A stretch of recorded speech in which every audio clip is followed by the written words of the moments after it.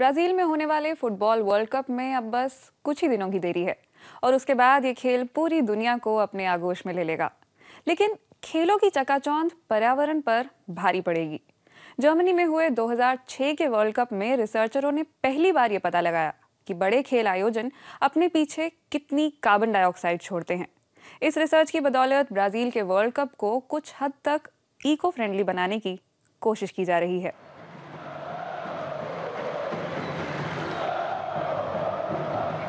World cup हो या league के मुकाबले, फुटबॉल अपने साथ रोमांच और उत्साह लाता है। स्टेडियम के अंदर और बाहर फैंस की भीड़ रहती है।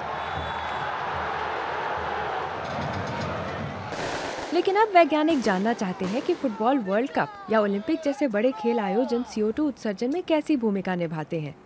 स्वेंट ओलमर को लगता है कि जैसा हाल 2010 वर्ल्ड कप में दक्षिण अफ्रीका में हुआ वैसा ही इस साल ब्राज़ील में होगा।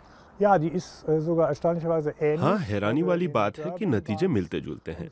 डरबन में सीओ टू जैसा असर करने वाली ग्रीन हाउस गैसों का उत्सर्जन 26 लाख टन के बराबर रहा।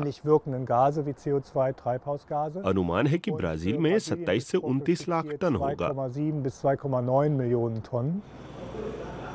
ब्राज़ील बीते कुछ साल से दिन रात वर्ल्ड कप की तैयारियों में जुटा है। इस दौरान भारी मात्रा में CO2, मीथेन और नाइट्रस ऑक्साइड जैसी ग्रीन हाउस गैसें निकल रही हैं। स्टेडियम निर्माण तो पर्यावरण को होने वाले नुकसान की छोटी सी कड़ी भर है। सबसे ज़्यादा ग्रीन हाउस गैसें तो दर्शकों के स्टेडियम तक पहुँचने में निकलती हैं।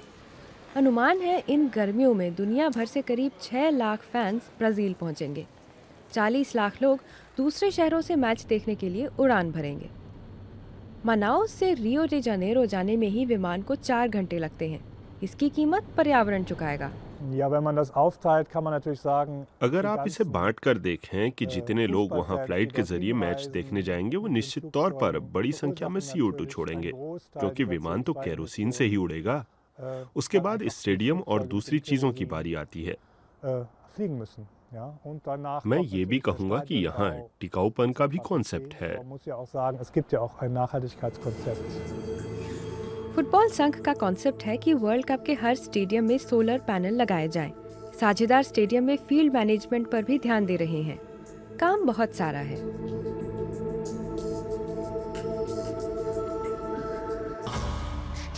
वर्ल्ड कप में निकलने वाली CO2 अंतरिक्ष में 6000 रॉकेट छोड़ने के बराबर है।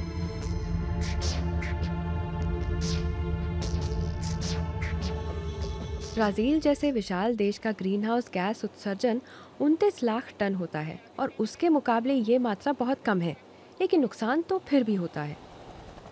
वैज्ञानिक लगातार इस बात की चेतावनी दे रहे हैं कि ग्रीन हाउस गैसों के उत्सर्जन को फ़ौरन कम करना होगा।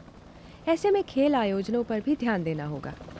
Ja, weil sie Teil natürlich unseres gesellschaftlichen Lebens sind. Und, ज़ाहिर है वो äh, हमारी ज़िंदगी का हिस्सा है जब हम ये देख रहे हैं कि जलवायु äh, परिवर्तन के लिए ग्रीन हाउस गैसें जिम्मेदार हैं तो इसके äh, हर कारण को देखना होगा खेलों को भी ताकि हम CO2 उत्सर्जन को घटा सकें ein großer Bereich äh, dazu beitragen, die CO2-Emissionen zu minimieren. शुरुआत ब्राज़ील से हो चुकी है इससे हर किसी को सीख लेनी होगी वैज्ञानिक चाहते हैं कि भविष्य में खेल आयोजक इको फ्रेंडली रास्ते अपनाएँ।